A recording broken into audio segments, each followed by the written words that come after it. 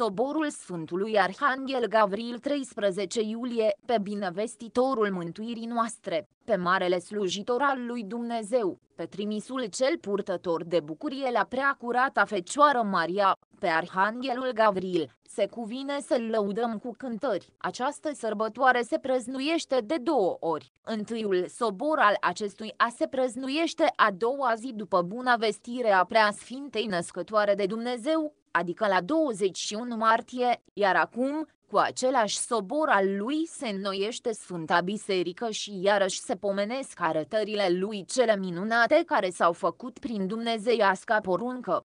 Acesta l-a învățat pe Moise în pustie scrierea cărților, spunându-i lui începutul facerii lumii, zidirea lui Adam, omul cel din tâi, viața aceluia și a celor ce au fost după dânsul. 50 a învățat a scrie despre neamurile cele de mai înainte, despre potop și despre despărțirea neamurilor. 50 a mai povățuit pe el să înțeleagă rândui ala corpurilor cerești stihiile, aritmetica, geometria și toată înțelepciunea. Acesta a tălmăcit prorocului Daniel vedenile cele minunate, care erau să fie mai pe urmă pentru împărați și împărății, și care se închipuiau prin diferite fiare. Prima a mai spus lui despre eliberarea poporului lui Dumnezeu din robia Babilonului și despre vremea venirii celei din tâi în lumea lui Hristos prin întruparea cea din prea sfânta fecioară, acesta s-a arătat sfintei și dreptei Ana, care se tânguia pentru nerodirea sa între pomii cei din grădină și cu lacrimi se ruga lui Dumnezeu, și a zis către dânsa, Ano, Ano, rugăciunile și suspinurile tale au străbătut norii și s-au auzit, iar lacrimile tale s-au suit înaintea lui Dumnezeu. Deci, vei zămisli și vei naște pe fiica cea prea slăvită,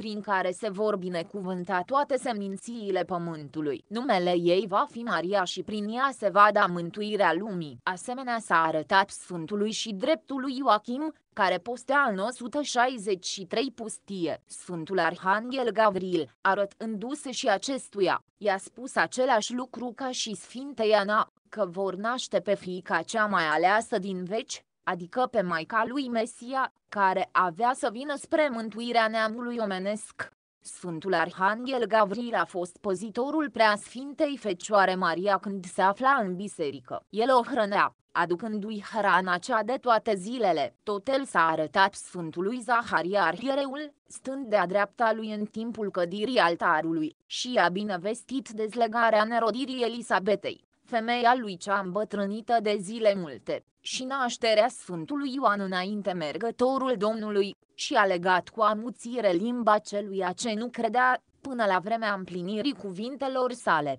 Acest înainte stătător al Domnului, trimițându-se de Dumnezeu în Nazaret, a stat înaintea preasfintei Fecioare, care era logodită cu bătrânul Iosif, și a binevestit ei zămislirea Fiului lui Dumnezeu, prin umbrirea și lucrarea Sfântului Duh. Acesta i s-a arătat și lui Iosif în vis, încredințându-l despre fecioara cea neispitită de nuntă, cum că ce s-a zămislit întrânsa este de la Duhul Sfânt. Când s-a născut Domnul nostru Isus Hristos în Betleem, Gavril, acest înger al Domnului, s-a arătat noaptea păstorilor care păzeau turmele împrejurul Betleemului și le-a zis, Vă binevestesc o bucurie mare, căci astăzi s-a născut Mântuitorul lumii. Apoi îndată au cântat cu mulțimea oștilor cerești. Slavă întru cei de sus lui Dumnezeu și pe pământ pace între oameni. Bunăvoire. Despre acest înger se mai povestește că s-a arătat Mântuitorului Hristos, mai înainte de patima lui cea de bunăvoie, pe când se ruga în grădină. Numele acesta de Gavril se tălcuiește puterea lui Dumnezeu, de aceea și Gavril, arătându-i se Domnului nostru Isus Hristos, îl întărea, ca cel ce are pe lângă alte slujiri ale sale și aceasta, a întări pe cei ce sunt în nevoințe,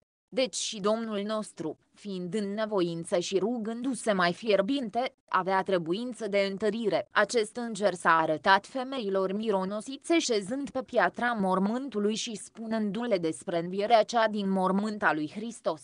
Pentru că cel ce a fost binevestitor al zămislirii și al nașterii Domnului, tot acela s-a arătat și vestitor al învierii lui. Acesta, arătându-se și prea sfintei născătoare de Dumnezeu pe când se ruga în muntele Eleonului, i-a spus despre apropierea cinstită ei adormiri și demutarea ei de la cele pământești la cele cerești. Și, ca încredințare, i-a dat ei o stâlpare purtătoare de lumină.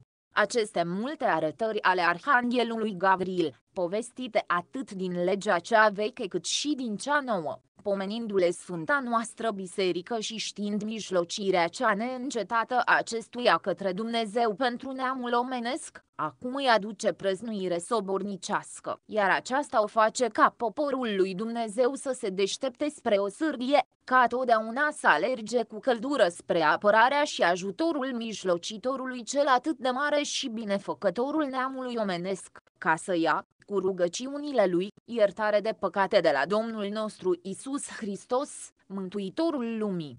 Notă. Despre Sfântul Arhanghel Gavril, vezi cuvântul mai pe larg în 26 ale lunii martie, în care zi se săvârșește întâiul lui sobor, dar pentru care pricină s-a așezat acest al doilea sobor, de aceasta nu se știe, negăsindu-se nimic în scripturile veche bisericești. Se pare însă că atunci când în Constantinopol și în celelalte țări grecești s-au zidit biserici prin diferite locuri în numele acestui sfânt arhanghel, tot de atunci și prăznuirea soborului său cel pus la 40 de zile după buna vestire, s-a mutat la această zi a lunii, deoarece atunci vremea marelui post oprește prăznuirea cea cu dezlegare la toate, iar acum se poate să se săvârșească aceasta mai cu libertate, precum și pomenirea Sfântului Ioan Gură de Aur, care a murit în 14 zile ale lunii septembrie, în ziua înălțării cinstitei cruci, pentru praznicul și postul ce se ține în acea zi, s-a mutat la 13 ale lunii noiembrie.